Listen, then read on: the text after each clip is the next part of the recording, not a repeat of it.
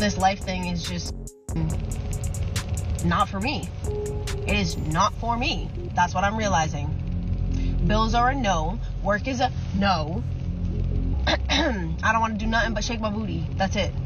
Oh my gosh, I am so tired of having to be a man. If you have a good man and he does those things for you, appreciate them. Tell him you appreciate them. Because you could be like me and have to do it all. And it sucks. Don't lose a good person in life just because they can't give you what you want now. Be patient. Life changes.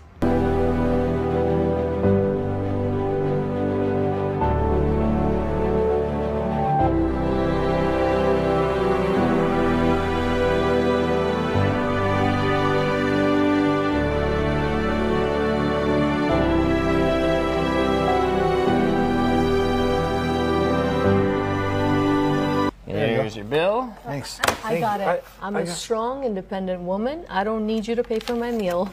Okay, thank you. Why is there so many numbers? Ah, that's the total, without tip. Oh, I thought it was a phone number or something. You know what? I'm feeling super traditional today. Oh, Are you? Yeah. All right. You can take it. Thank you. I'm so honored. Well, that was a lot. Y- You could be strong tomorrow Okay, thank you. when the numbers are low.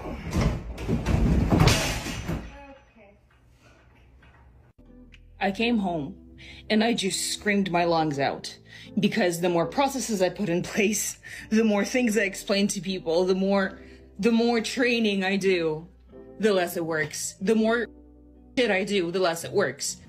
At work, in corporate, in my personal life too. And I don't understand what am I supposed to do differently now? What what is it? What am I missing? I'm eating healthy, I'm drinking water, I'm taking vitamins for God's sake, I'm staying sober, which a glass of wine right now probably would have been a good idea. To, to for what?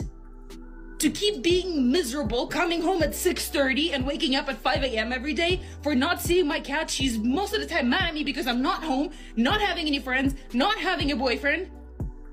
What what is all of this for? For for them to tell me, "Oh, work with me." I am working with you. I will be working with you because what? Because I have A, no choice, and B, I love what I do. But I would really appreciate if people cooperated. And I was this close from becoming this atomic bomb that just burns everything around me for like miles and miles and miles.